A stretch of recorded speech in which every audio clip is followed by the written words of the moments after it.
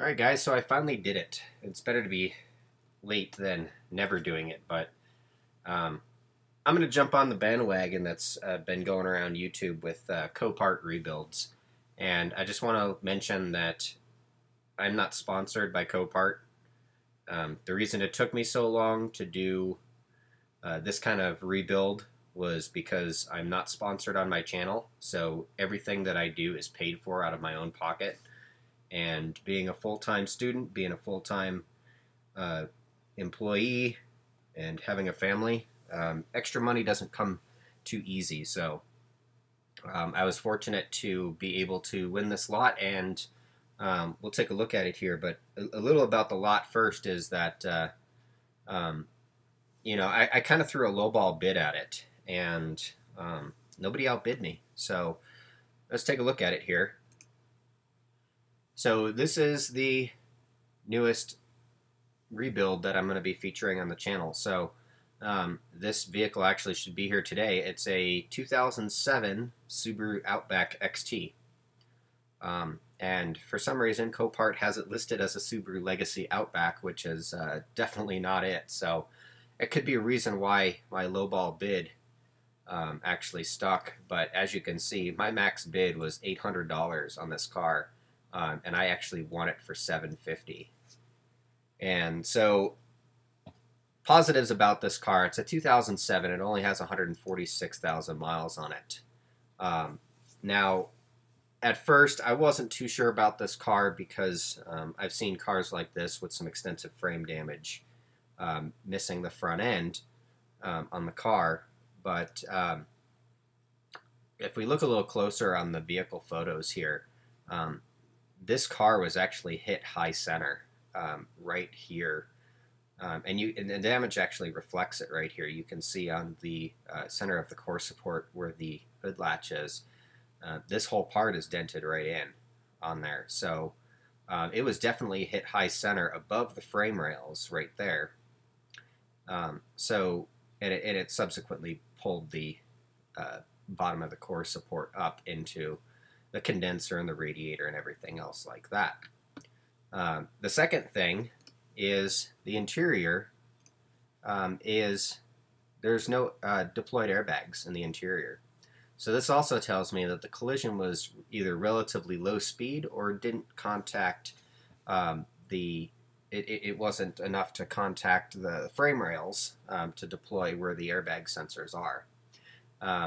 So that was the second thing because these airbags here um, are are very expensive. The side passenger airbags are very expensive, um, and so are the uh, driver's airbags. And then, of course, you got to replace. You know, they recommend you replace the clock spring and the airbag computer, or you have to send in your airbag computer to be um, to basically be uh, reset, uh, things like that.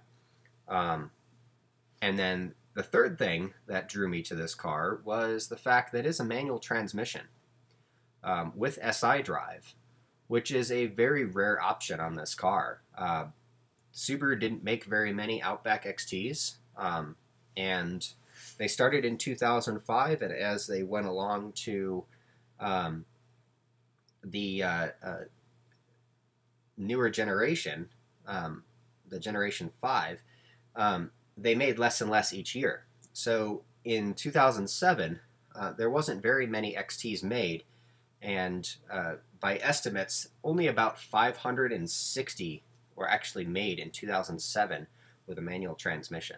So um, this is especially rare car here um, to find with uh, a manual transmission in it. Um, other than that, the interior um, just looks impeccable on it. I don't see any evidence of rips on the on the seats.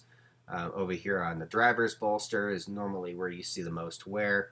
Um, can't really tell on the driver's side bolster on the seat bottom, but uh, uh, we'll uh, definitely take a look at it when the transport shows up. Uh, back seat is uh, just as good as the front, if not better. Um, so there's, you know, almost no wear on these back seats, and it's it's black leather interior, which I couldn't ask for for better. Um, moving along to the engine bay here, this is another telltale sign here that uh, uh, this car didn't have any uh, too bad of damage to it because if we take a look at the the bottom where the, uh, the front plastics are on the um, on the motor, none of them are, none of them are broken. The only thing that is broken is the um, the air pump, and that's just a plastic cover that goes over the front of that. Um, but the timing covers, nothing else is uh, uh, damaged on this. So that was definitely a huge, huge win on that one. Um, and then even then, uh, looking at where the battery sits, uh, generally this is where you see the damage on the on the cars there. So um, definitely um, huge uh, benefit right there. Uh, we take a look at the uh, the front profile of the vehicle here. Again, you can see the normal damage of the um, the hood. Um, the hood's bent back.